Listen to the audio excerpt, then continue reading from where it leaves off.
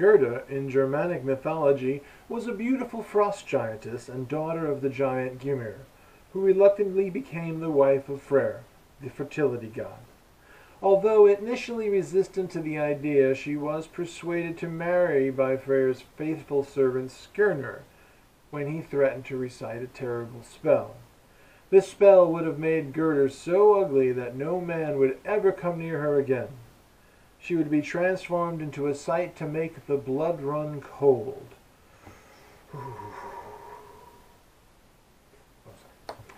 So it was that Gerda met Freyr in the forest, and after nine nights, representing the nine months of the northern winter, became their partner. The aurora borealis was believed by some to be the radiance of Gerda.